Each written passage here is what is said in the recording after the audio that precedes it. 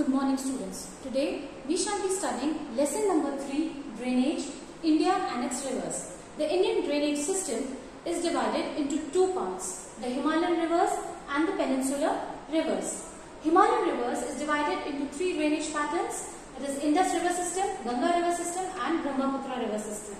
Whereas peninsular rivers are divided into five parts Narmada, Tapi, Godavari, Krishna and Kaveri rivers. As we know, Himalayan rivers are perennial throughout the year, that is they carry water throughout the year and the peninsular rivers, they do carry the water all through the year but the amount of water reduces during the summer season. Now on the map of India, we should start with the Indus River.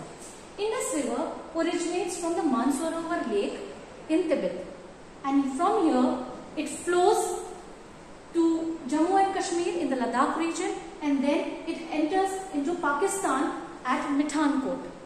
Here it is divided into five parts before entering the, uh, you can say the bay.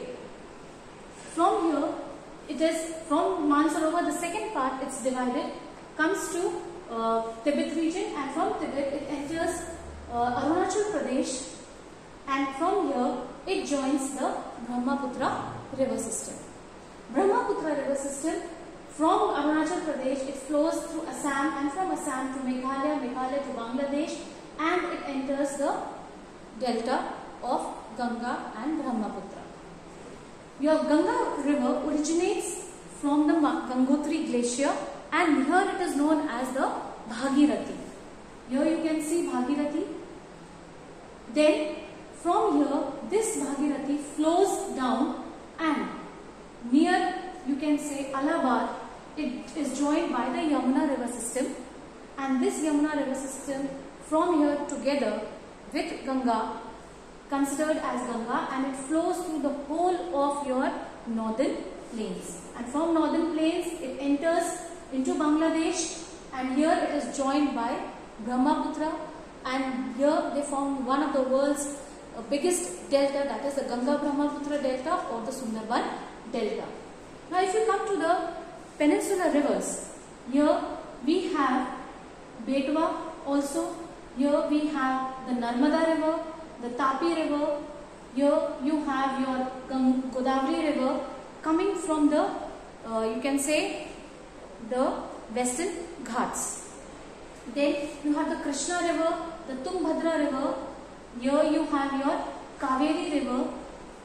And there are few you can say uh, the what do call lakes also which are saltwater lakes. The first one is your Sambhar lake over here and the only freshwater lake in India is at Gulam lake in Jammu and Kashmir. Then you come down, you have your Vemband lake in Kerala which is a saltwater lake.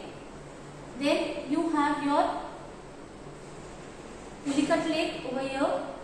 Then you have your Chilka lake and here Vishakhapatnam you also have Koleru lake.